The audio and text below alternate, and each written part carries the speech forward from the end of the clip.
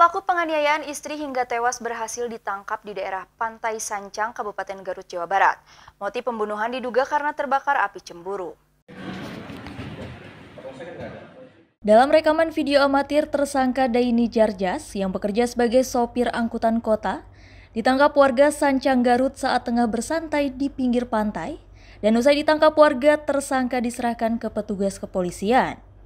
Tersangka nekat menganiaya Siti Oktaviani yang merupakan istri sahnya hingga tewas karena diduga terbakar api cemburu. Barang bukti yang diamankan petugas satu bilah senjata tajam jenis pisau yang diduga dipakai untuk menikam istrinya. Guna pemeriksaan, tersangka kini diamankan di sel tahanan Polrestabes Bandung dan diancam pasal 338 atau 351 ayat 3 KUHP pidana dengan ancaman hukuman 15 tahun penjara.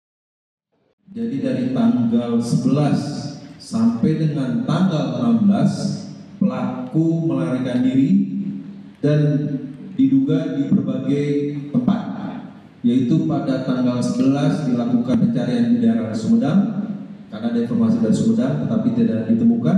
Kemudian pada hari berikutnya dilakukan juga di e, daerah Cibalong atau Tasikmalaya tapi tidak ditemukan juga kemudian tanggal hari Minggu tanggal 15 di Tasikmalaya juga diajarkan di daerah Cipatujah tapi tidak ditemukan dan Alhamdulillah pada hari Senin tanggal 16 pukul 09 pelaku berhasil diamankan di pantai Cibangkong Desa Sancang Cibalong Kabupaten Garut dari Bandung, Jawa Barat, Agus Kusmayadi melaporkan.